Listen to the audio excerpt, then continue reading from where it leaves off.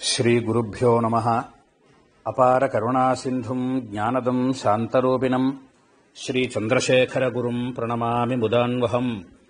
Cauchy என்கிற தலைப்பில் கயா க்ஷேத்திரத்திற்கு சென்ற பிறகு அங்கு செய்ய வேண்டியதான முக்கியமான ஸ்ராத்தங்களை பார்த்துன்னு வரோம். அப்படி அக்ஷயவட்ட ஸ்ராத்தம் பிறகு கயா பிரயுக்தமான தீர்த்த ஸ்ராத்தம் என்று ஒன்றை செய்யணும். அதாவது கயா க்ஷேத்திரத்தில் நிறைய தீர்த்தங்கள் இருக்கு நிறைய மலைகள் இருக்கு நிறைய க்ஷேத்திரங்கள் இருக்கு. அது அதை அனைத்தையும் தனித்தனியாக செய்வதுங்கிறது சாத்தியம் இல்லைங்கிறதுனால அந்த க்ஷேத்திரத்தில் உள்ள அனைத்து தீர்த்தங்களையும் மலைகளையும் க்ஷேத்திரங்களையும் உத்தேசித்து ஒரு தீர்த்த ஸ்ராத்தத்தை பண்ணணும். அந்த தீர்த்த ஸ்ராத்தத்திலே தான் மாத்ருஷோடசி என்கிற பிண்ட பிரதானங்கள் வரப்போறது. அங்கே ரெண்டு விதமாக வச்சிருக்கா அனுஷ்டானங்கள்ல. அதாவது கயாக்ஷேத்திரத்திற்கு போன பிறகு பல்குனி தீர்த்த ஸ்ராத்தமாக இருந்தாலும் சரி விஷ்ணுபாத தீர்த்த ஸ்ராத்தமாக இருந்தாலும் அக்ஷயவட்ட தீர்த்த ஸ்ராத்தமாக இருந்தாலும் இந்த மாத்ருஷோடசியையும் சேர்த்து பண்றது அப்படின்னும் ஒரு முறையில வச்சுருக்கா அப்படியும் செய்யலாம். அல்லது கயா பிரயுக்தமான தீர்த்த ஸ்ராத்தத்தில் அனைத்தையும் சேர்த்து செய்வது அப்படிங்கிறத வச்சுக்கணும். அதில் தான் இந்த மாத்ருஷோடசி அப்படிங்கிறது வரப்போறது. அதாவது அங்கே எப்படி பிண்டப்பிரதானம் அப்படின்னா முதல்ல வர்க்கத்வஜ பித்திருக்களை உத்தேசித்து பன்னெண்டு பிண்ட பிரதானங்கள் பிறகு காருணிக பித்திருக்களுக்கு தனித்தனியாக வைத்து விட்டுப்போன காருணிக பித்திருக்களுக்குன்னு சேர்த்து ஒரு பிண்ட பிரதானம் பிறகு சக்து பிண்ட பிரதானம்னு ஒன்றும் சத்து மாவனாலே ஒரு பிண்ட பிரதானம் அதற்கு சக்து பிண்டம்னு பேர். பிறகு க்ஷேத்திர பிண்டம்னு நாற்பத்தி ரெண்டு பிண்ட பிரதானங்கள் பிறகு மாத்ரு ஷோடசின்னு பதினாறு பிண்ட பிரதானங்கள் இப்படி காருணிக பித்திருக்களுடைய வர்க்கம் இல்லாமல் எழுபத்தி ரெண்டு பிண்ட பிரதானங்கள் சொல்லப்படுறது. அதோடு கூட காருணிக பிதற்களுக்குன்னு தனித்தனியாக செய்துக்கணும் என்று நமக்கு தர்மசாஸ்திரம் காண்பிக்கிறது. அதில் இந்த மாத்ருஷோடசிங்கிறது இந்த ஸ்ராத்தத்திலே தான் வருது. கட்டாயம் செய்யணும் இந்த மாத்ருஷோடசிங்கிறது இது மிகவும் முக்கியம். தாயாருக்காகனே பதினாறு பிண்ட பிரதானங்களை செய்யணும். கயா சீர்ஷே யதா பிண்டம் நாம்னா ஏஷாம் பிரகுர்வத்தே நரகஸ்தாக திவம் யாந்தி ஸ்வர்கஸ்தாக மோக்ஷமாப்னுயு அப்படின்னு நமக்கு தர்மசாஸ்திரம் காண்பிக்கிறது. கயா சீருஷம் கயங்கிற க்ஷேத்திரத்திற்கு சென்று அங்கே யார் யாருடைய கோத்திரம் பெயர்களை சொல்லி பிண்டப்பிரதானங்களை பண்றோமோ அவர்கள் நரகத்தில் இருந்தால் ஸ்வர்கலோகத்தை அடையிறா? ஸ்வர்கலோகத்தில் இருந்தால் கிரமமுக்தியை அடையிறா? அப்படின்னு காண்பிச்சு தத்ராட்சய வட்டோநாம நாம லோகேஷு விஸ்ருதா பித்ருணாம் தத்ர வைதத்தம் அக்ஷயம் பவதி பிரபோ. ஏகஸ்மின் போஜிதே விப்ரே கோட்டிர்பவதி போஜிதா. ஆத்மஜோபி அந்நஜோவாபி கயாபூமௌ யதா ததா என்னாம்னா பாதையேத் பிண்டம் தன்னையேது பிரம்ம சாஸ்வதம். அந்த கயாங்கிற க்ஷேத்திரத்தினுடைய மகாத்மியம் பெருமையினாலே அங்கு நாம் சென்று யார் யாரையெல்லாம் உத்தேசித்து ஸ்ராத்தங்களை பண்றோமோ ஒரே ஒரு பிராமணரை வரித்து ஒரு ஸ்ராத்தம் பண்ணினாலே போரும். அந்த ஒரு பிராமணரை வரித்து பண்ணின ஸ்ராத்தமானது கோட்டிர்பவதி போஜிதா. கோட்டி பேருக்கு சாப்பாடு போட்டு பண்ணின ஸ்ராத்த பலனை நமக்கு கொடுக்கிறது. அதனாலே அவர் யார் யாருடைய பெயர் கோத்திரங்கள் எல்லாம் சொல்லி வைக்கிறோமோ அவர்களுக்கு பிரம்ம சாஸ்வதம் மோட்சத்தையே அனுகிரகம் பண்றார் பகவான் அப்படின்னு சொல்லி ஆகையினாலே ஞாபகம் வச்சுண்டு அத்தனை பேருக்கும் அங்கே பிண்டப்பிரதானம் பண்ணணும். இந்த எழுபத்தி ரெண்டு பிண்டப்பிரதானங்களை கட்டாயம் செய்யணும். அதிலும் மாத்ருஷோடிசி அப்படிங்கிறது ரொம்ப முக்கியமாக சொல்லப்பட்டிருக்கு. அதை எப்படி பண்ணணும் அப்படின்னு இந்த முறைகள்லாம் சொல்கிற பொழுது பிண்டப்பிரதானத்தில் இந்த பிண்டப்பிரதானம் போடுறதுக்கு முன்னாடி தர்பேகளை நிறையா பரப்பணும். அப்படி தர்பேகளை பரப்பி அதிலே அத்தனை பேரையும் ஆவாகனம் செய்வது.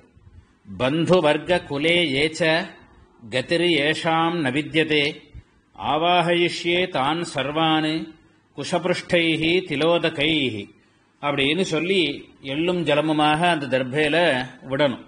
இதற்கு என்ன அர்த்தம்? பந்து வர்க்க குலே ஏச்சா என்னுடைய வம்சமாகட்டும் என் தாயாருடைய வம்சம் இது மாத்திரம் இல்லாமல் பந்துக்கள்னு யார் யாரெல்லாம் என்னை சுற்றி இருக்கிறார்களோ அவர்களே யாருக்கெல்லாம் கதிரியேஷாம் நவித்யதே நல்ல கதியானது கிடைக்காமல் இருக்கோ அவர்கள் அத்தனை பேரையும் இந்த தர்ப்ப கூட்டங்களில் அவாகனம் பண்றேன். ஆப்ரம்ம ஸ்தம்ப பர்யந்தம் தேவரிஷி பிதிரு மாணவாக திருப்பியந்து பிதரஸ் சர்வே மாத்ரு மாதாமகாதய அதீத குலகோட்டீனாம் சப்தத்வீப நிவாசினாம் ஆப்ரம்ம புவனால்லோகாத் இதமஸ்து திலோதகம் என்று கை நிறைய எல்லை எடுத்துண்டு அந்த தர்பேல விடனும் ஜலமும் தீர்த்தமாக. என்ன அர்த்தம்னா ஆப்ரம்ம ஸ்தம்ப பர்யந்தம் அப்படி பிரம்மாவினிடமிருந்து ஆரம்பிச்சு ஸ்தம்பம்னு ஒரு பூச்சி. பூச்சி இனங்களிலேயே மிகவும் சின்னதான ஒரு பூச்சி. இந்த பூச்சி எப்படி இருக்கும் அப்படின்னா இந்த வெயிலுடைய கிரணம் ஒரு ஓட்ட வழியாக விழுந்தால் அந்த வெயில்ல உள்ள கிரணத்துல சின்ன சின்னதாக பறக்கும் தூசி. அந்த அளவுக்கு உள்ள ஒரு பூச்சிக்கு ஸ்தம்பம் அப்படின்னு பேர். அப்படி பரபிரம்மத்திலிருந்து ஆரம்பிச்சு ஸ்தம்பம்ங்கிற பூச்சி வரையிலும் தேவரிஷி பிதிரு மாணவாக தேவதைகளாகட்டும் ரிஷிகளாகட்டும் பிதற்களாகட்டும் மனுஷர்களாகட்டும் அவர்கள் அத்தனை பேரும் நான் இங்கு செய்யக்கூடியதான இந்த பிண்டப்பிரதானத்தினாலே அவர்களுக்கு திருப்தியானது ஏற்படணும்.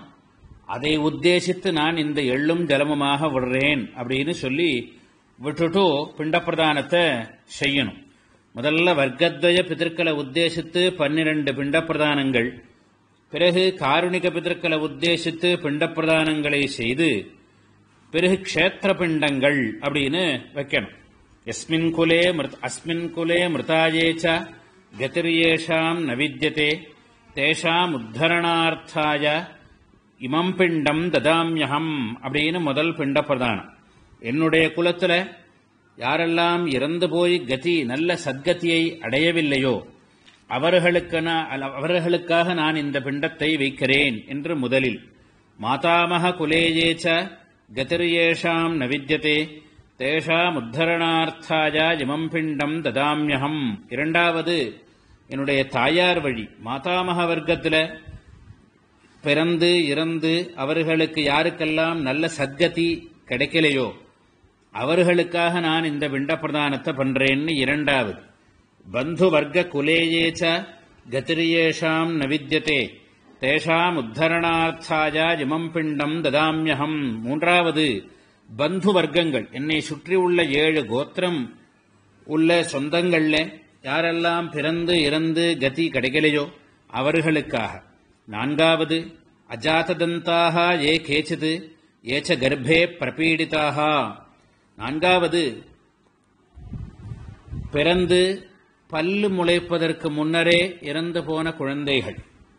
அல்லது பிறப்பதற்கு முன்னர் கர்ப்பத்திலேயே இருக்கிற பொழுது பூர்ணமான குழந்தையாக இருந்து ஆறாவது மாதத்திற்கு மேல் கர்ப்பத்தில் இருந்து இறந்து போன குழந்தைகள். அதற்கு முன்னர் அபார்ஷனாக இறந்து போன ஜீவராசிகள். இவர்களுக்காக பிண்டப்பிரதானம்.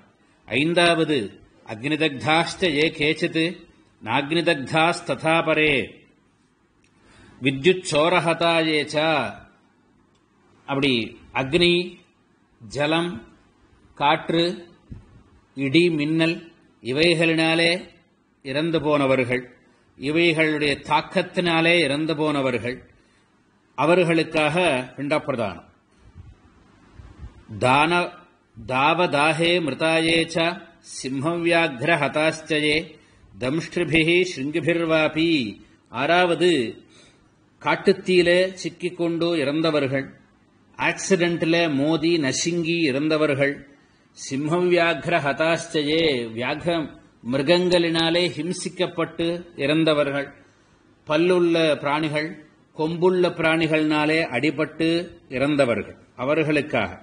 ஏழாவது உத்பந்தன மிருதாயேச்ச விஷசஸ்திரஹதாஸ்டயே ஆத்மனோ காத்தினோயேச்சா ஏழாவது தூக்கு போட்டு இறந்தவர்கள் விஷம் சாப்பிட்டு இறந்தவர்கள் ஆத்மஹத்தி மாடியிலிருந்து கீழே விழுந்து இதுபோல இறந்தவர்கள். அவர்களுக்காக ஏழாவது பிண்டப்பிரதானம். அரண்யே வர்த்மனிவனே க்ஷுதஜா த்ரிஷயா ஹதாஹா பூதப்பிரேத பிசாச்சைஷ்டா.